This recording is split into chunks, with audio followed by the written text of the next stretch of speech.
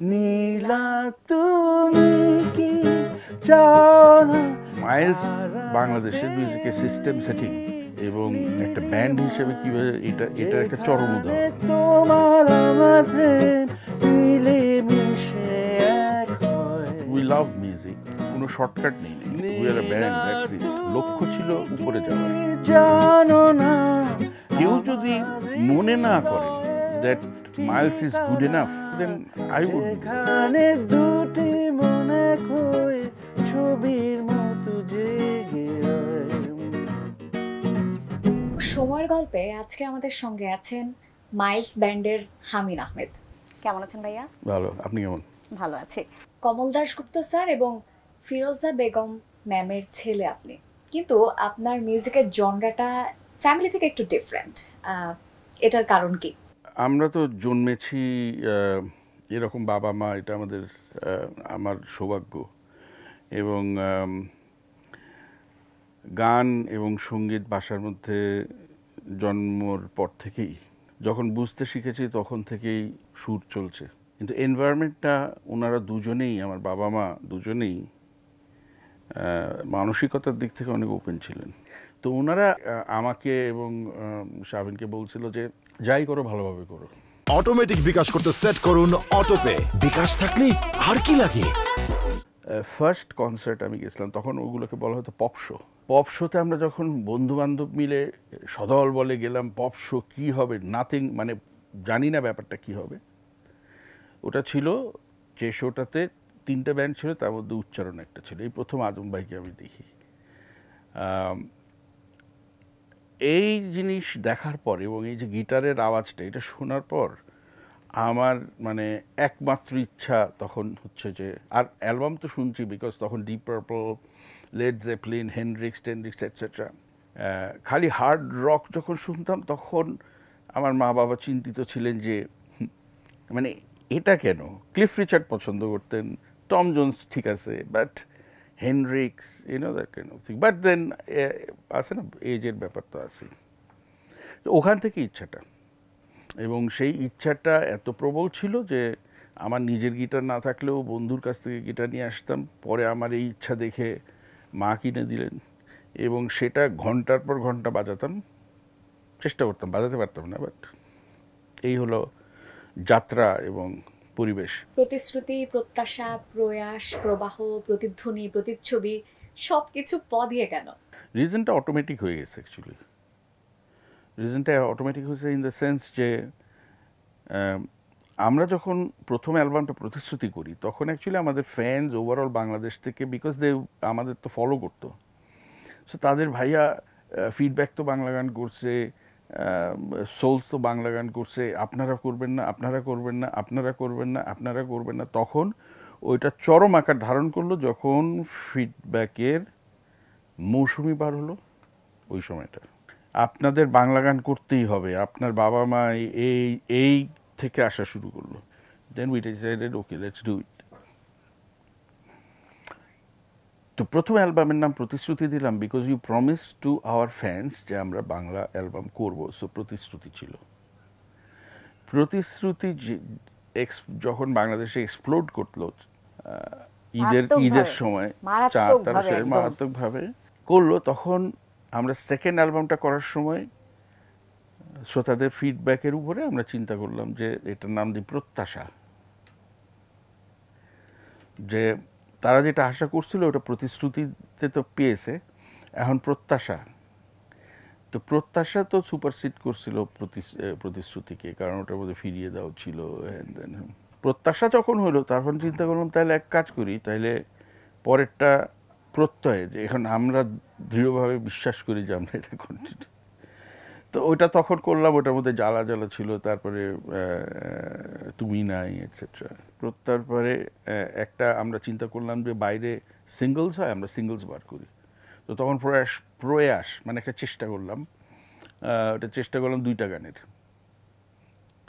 তো দুইটা গান নিয়েই, কিন্তু আমার মনে আছে আমরা তো খুব সিম্পলি চিন্তা করছিলাম যে দুইটা গান হবে। কারণ এটা সিঙ্গলস হিসাবে তো। মানুষ নেওয়ার পর হ্যাঁ এটা আপনারা কি করলেন? অ্যালবাম ছাড়লেন মাত্র দুইটা গান। ইউনো সো ইট তখন আমাদের রিয়েলাইজেশন হলো ও মাই গড একটা তো ভুল করছি। কারণ আমাদের যে চিন্তা ভাবনা এটা তো ব্যাখ্যাটা দেই নাই। তো প্রয়াসের পরে কি হবে? প্রবাহ। মানে যেরকম চলছে সেরকমই প্রবাহের পরে হচ্ছে প্রতিধ্বনি, ওই যে রিফ্লেক্ট একো অ্যান্ড প্রতিচ্ছবি হচ্ছে রিফ্লেকশন সবই ব্র মাইলস যখন যাত্রা শুরু করে শুরুর দিকের যাত্রাটা কেমন ছিল? মাইলস ফর্ম করে হচ্ছে ফরিদ রশিদ। ফরিদ রশিদ ছিল খুব ফেমাস একটা স্বাধীনতা স্বাধীনতার পূর্ববর্তী থেকে পরবর্তীতে একটা ব্যান্ড ওর ব্যান্ডটার নাম ছিল লাইটনিং আমরা জানতাম লাইটনিংয়ের ব্যাপারটা। লাইটনিংয়ের পরে ফরিদ লন্ডন থেকে এসে মাইলস ফর্ম করে। মাইলসে ফর্ম করার পরে অ্যাক্সিডেন্টালি আমার আমার সাথে তার দেখা হয়। তো অ্যাক্সিডেন্ট আমি তখন মানে they were like big people for us হ্যাঁ কারণ তাদের শো দেখতে যেতাম। কামাল মঈনুদ্দিন বাজ আইকনিক ড্রামার হিসেবে he was very good looking তার বাজানোর স্টাইল ডিফারেন্ট ছিল এবং বাংলাদেশিরা মানে তখনকার মিউজিক ফ্যান্সরা তার ড্রামিং দেখার জন্য পায় হ্যাপি আখন ছিল one of the most naturally talented musician এতগুলো ভালো মিউজিশিয়ানের মধ্যে আমরা বলছে। তো আমার শাফিনে এবং মানামের, আমাদের টিনেজের থেকে যাত্রাটাই মাইলস থেকে। আমরা শুনতাম রক কিন্তু like pop then Latin rock Latin jazz টাইপের জিনিসপত্র এইগুলোতে আমাদেরকে যে ইন্ট্রোডিউস করছিল, সেটা আমাদের পরবর্তীতে অনেক অনেক কাজে লেগেছে। ইট ওয়াজ মোর লাইক লাইব্রেরিতে গিয়ে মানুষ বই পড়ে না, ওরকম। বই পড়লে যেমন একটা একটা চোখ খুলে যায়, একটা জিনিস জানা যায়, গান শোনাটাও কিন্তু সেরকম।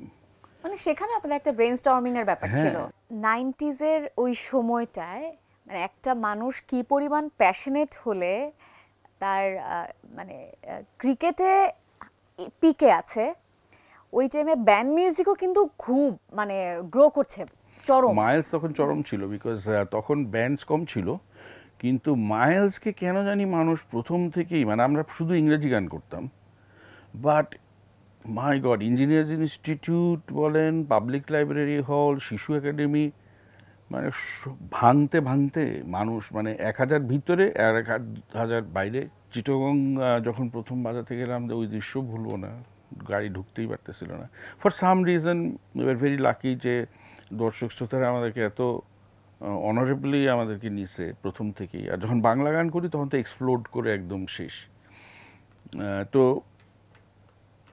ভাগ্যবান। বাট উই লাভ মিউজিক এইটা ব্যাপার। ক্রিকেটে যখন খেলছি তখন I love of course I still love cricket musician Hamin Ahmed cricketer Hamin Ahmed and businessman Hamin Ahmed কোনটাতে আপনি সবচেয়ে বেশি স্বাচ্ছন্দ্য বোধ করেন? মিউজিশিয়ান মিউজিশিয়ান তাহলে আপনার প্যাশনের জায়গায় মিউজিকটা মানে সেই শুরু মিউজিক থেকেই আছে। হিউজ প্যাশন টু এবং মিউজিকে আসি মিউজিকও তখন খুব একটা ছিল না। যে জন্য মিউজিক এবং ক্রিকেট আমি যখন, তখন আমি যখন মাঠে নামতাম, তখন গ্যালারি থেকে এই মাইজ এই এই এরকম করতো আর কি। তো,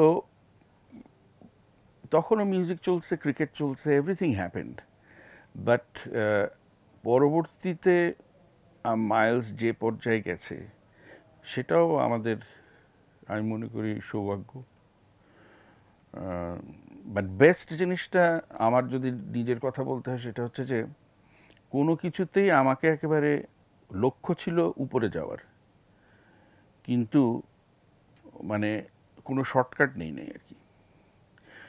হার্ড ওয়ার্ক করছি এবং যেটা হয়েছে সেটা হচ্ছে যে, ওটাই যে if you work hard you will get your reward এরম টাইপের এবং মাইলসের কিন্তু মাইলসেও আমরা এখন পর্যন্ত যে রিহার্স করি এটসেট্রা করি, এটা for the love of music কারণ আমরা রিহার্স এরকম করি না যে কালকে শো আছে আজকে রিহার্স করছি। নো আমরা এমনি এমনি করি। শো থাকলেও করি না করলেও করি।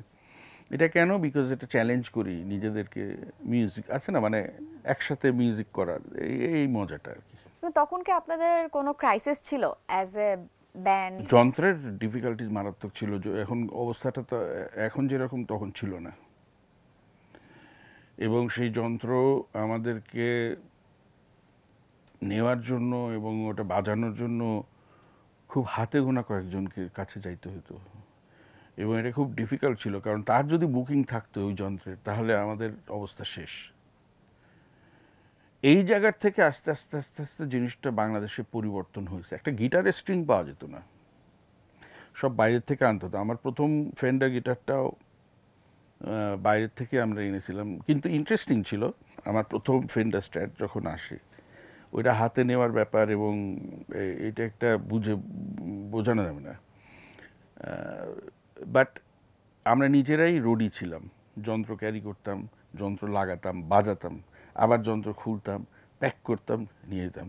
সো আমাদের ট্রেনিংটা ছিল হচ্ছে roadie cum musician cum everything so যার জন্য কেউ যদি চিন্তা করে যে মাইলসের ব্যাপারটা কি, তাহলে হচ্ছে যে মাইলস বাংলাদেশের মিউজিকের সিস্টেম সেটিং এবং একটা ব্যান্ড হিসেবে কীভাবে এটা এটার একটা চরম উদাহরণ। এবং এই উদাহরণটা আমাদেরকে দেখিয়েছে আমাদের সিনিয়র ভাইয়েরা ফরিদ কামাল এরা উইচ ইজ আমরা very lucky that we we did music together সিনেমাতে মাইলসের কোনো গান বা কোলাবোরেশন আমরা দেখতে পাইনি। এটার কারণ কি? কারণটা খুব সিম্পল ছিল এবং তখন ছিল কি যে এরিয়াটাতে যে কাজ করত, সে এটাকে ক্রস করে আরেকটা এরিয়াতে পরিধির মধ্যে যেত না। অ্যান্ড ব্যাপার হচ্ছে, বাংলাদেশের কিন্তু একটা ইউনিক এই ব্যাপারটা কিন্তু সবার একটু জানতে হবে। Rock and the life of rock and roll R pop pop star rock star এদের কিন্তু একটা লাইফও এরকম লিড করতে। ইউ ক্যানট জাস্ট হঠাৎ করে ইউ ক্যানট বি মানে ভিশনটা এবং এটা কিন্তু বাংলা গানের মূলধারার মতো না। সো আমাদের এখানে যে ব্যান্ডসগুলো যে এক্সপোজার যে জায়গাটাতে পৌঁছে গেছে, এটা কিন্তু খুব ওয়েস্টার্ন ওয়ার্ল্ডে যেটা হয় সেরকম। আমাদের ফলোয়িং আছে মানে ডাই হার্ড ফলোয়িং সো ব্যাপারটা হচ্ছে যে খুবই একটা কনসেপ্টটা ওয়েস্টার্নাইজড এবং ব্যান্ড মানে এই আমরা we're a band that's it এরকম একটা ভাব। এবং কাজ টাজ অ্যালবাম কাভার টাভার ছবি টবি সবই ডিফারেন্ট এখন কি প্ল্যান আছে কোনোভাবে ফিল্মের দিকে মানে ফিল্মে গান করার? অবশ্যই করতে চাই। বাট কেউ যদি মনে না করেন that Miles is good enough যে একটা সিরিয়ালে জামিন ভাই আপনাদের এই গানটা আমি ব্যবহার করতে চাই বা আমার পুরোটাতে আপনারা একটু করে দেন। এটা যদি না মনে করে দেন আই উড গো মাইলসের আপকামিং প্রজেক্ট সম্পর্কে জানতে চাই। কোনো গানে কোনো ভিডিও নাই? এটা একটা বিশাল ভ্যাকিউম এটা নিয়ে ডেফিনেটলি আমরা কাজটা করব। নতুন অ্যালবাম একটা করব। আর একটা প্রজেক্টে সেটা বলা যাবে ওকে নতুন অ্যালবামটা তাহলে কবে আসছে? বাই মার্চ পাও আমরা এগারলি ওয়েট করছি অ্যালবামটার জন্য। অ্যান্ড আমরা চাই যে মাইলস এভাবে আমাদের সাথে আরও অনেক চমৎকার অ্যালবাম গান আমাদেরকে দিবে। এবং বাড়ি যাওয়ার আগে আমরা মাইলসের একটা গান শুনতে শুনতে বাড়ি যাব।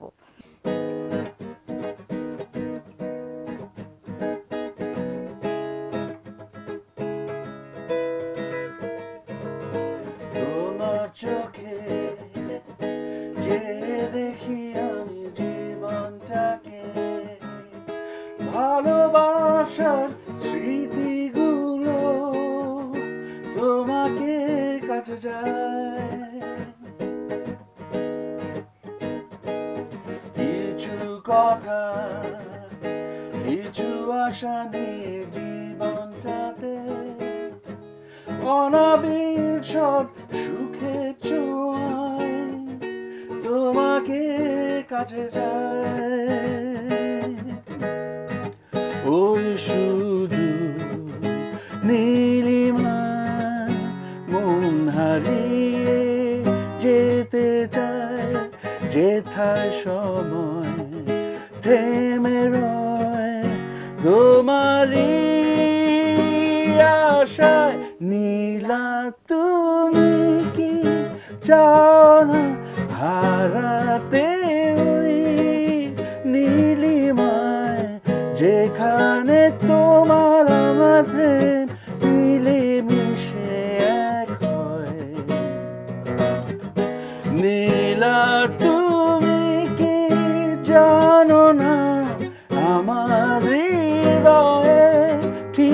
ঠিকানা যেখানে